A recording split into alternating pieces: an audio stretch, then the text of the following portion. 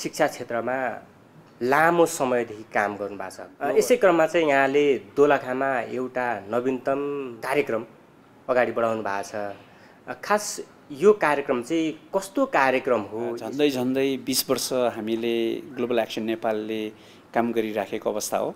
हामीले के पायौँ भन्नुहुन्छ भने बालबालिकाहरूको भविष्य भनेको चाहिँ विद्यालयमा मात्रै सीमित छैन। परिवारमा चाहिँ तपाईँको को चाहिँ बढी बालबालिकाहरूसँग चाहिँ रहन्छन् भन्दाखेरि आमाहरू। महिलाहरू। महिलाहरूलाई हामीले चाहिँ सशक्त बनाउनु पर्छ र उहाँहरूलाई तपाईँको चाहिँ भान्सा कोठामा मात्रै सीमित राख्नुहुन्न भन्ने कुरो र तपाईँको चाहिँ यो दिगो विकासको लक्ष्यलाई ध्यानमा राखेर हामीले चाहिँ दोलखामा एउटा कार्यक्रम सुरु गऱ्यौँ अब हाम्रो संस्कृति त के छ भन्नुहुन्छ भने महिलाहरू भनेको चाहिँ भान्सा कोठामा मात्रै सीमित रहनुपर्ने अवस्था।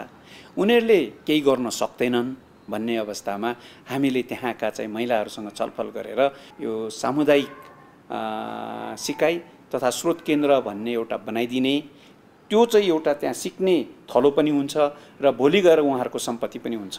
भनेर हामीले त्यो चाहिँ सुरु गऱ्यौँ। जसले गर्दाखेरि दुईवटा कुरा यहाँ रह्यो।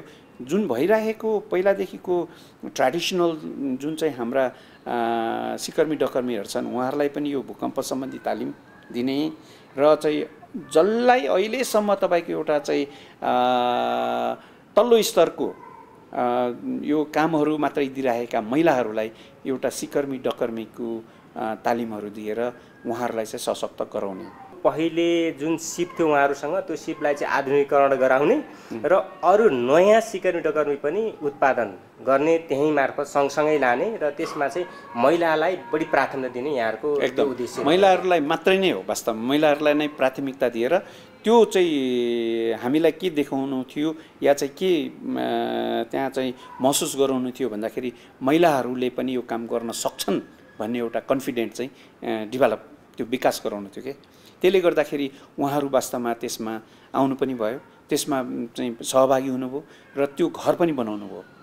र घर बनाएर अहिले उहाँहरूले चाहिँ अब त्यो घरलाई बनाउने मात्रै होइन। दुईवटा कुरा आयो एउटा कुरा चाहिँ तपाईँहरू अब उहाँहरूको सिप तपाईँले बेच्न उहाँहरूले चाहिँ बेच्न सक्नुहुने भयो। उहाँहरूले कतै पनि गएर तपाईँको चाहिँ घर बनाउने अर्का अर्को चाहिँ स्कुलहरू बनाउने या तपाईँको हेल्थ पोस्टहरू बनाउने या तपाईँको अन्य स्कुलहरू पनि के अरे चाहिँ घरहरू बनि बनाउन सक्ने उहाँहरू सक्षम हुनुभएको छ।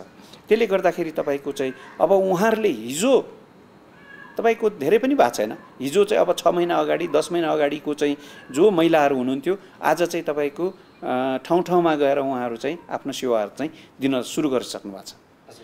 अब त्यसलाई चाहिँ तपाईँको एउटा संस्थागत गर्नको लागि हामीले त्यो जुन यो सामुदायिक सिकाइ तथा स्रोत केन्द्र भनेर बनाइदिएका छौँ। त्यो उहाँहरूकै सम्पत्ति हो।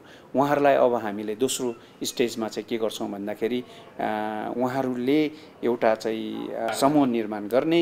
समूह निर्माण गरिसकेपछि हामीले त्यो सर्टेन सिट फन्ड दिन्छौँ। जुन सिप छ सिपबाट प्राप्त आफ्ना प्राय पारिश्रमिक अथवा आर्जन गरेका आयलाई पनि बचतको माध्यमबाट अगाडि बढाउने त्यो खालको योजना पनि छ त्यहाँ। त्यो छ। तपाईँको चाहिँ के पनि हुन्छ भन्दाखेरि अब त्यो संस्थागत हुने बित्तिकै तपाईँको चाहिँ अब भोलि कसैलाई अब हामीलाई चाहिँ म्यान पावर चाहियो काम गर्ने चाहिँ मान्छेहरू चाहियो भने अब हामीले सिधै गएर त्यो त्यो केन्द्रमा सिकाइ केन्द्रमा चाहिँ हामी जान सक्छौँ। र उहाँहरूसँग चाहिँ हामीले कति कस्तो किसिमको सिप भएका मान्छेहरू चाहिने हो उहाँहरूले दिनुहुन्छ। अब त्यहाँबाट आएका सर्टेन इन्कमहरू उनीहरू उहाँहरूले अहिले छलफल गरिरहेको चाहिँ त्यसको त्यो केही प्रतिशत चाहिँ त्यो संस्थामा दिनुपर्ने हुन्छ। जसले गर्दाखेरि त्यो संस्था चाहिँ चलिराखोस्। होइन? त्यो त्यो किसिमको चाहिँ अब त्यो संस्थालाई हामीले चाहिँ इन्डिपेन्डेन्ट या चाहिँ उहाँहरूको मात्रै नराखेर त्यसलाई चाहिँ गाउँपालिका नगरपालिकासँग चाहिँ समन्वय गराउँछौँ। र नगरपालिका गाउँपालिकाले उहाँहरूलाई सहयोग गर्ने एउटा चाहिँ त्यो पनि रहन्छ विद्यालयसँग पनि जोडेर एक्टिभिटिजहरू क्रियाकलापहरू पनि गर्दै हुनुहुन्छ। कस्तो खालको क्रियाकलाप हो? यसले चाहिँ कस्तो सहयोग पुर्याउँछ?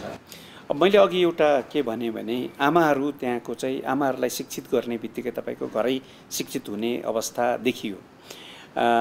त्यसले गर्दाखेरि अब चाहिँ त्यहाँका आमाहरू आफै त्यसलाई हामीले बिसी भन्यौँ।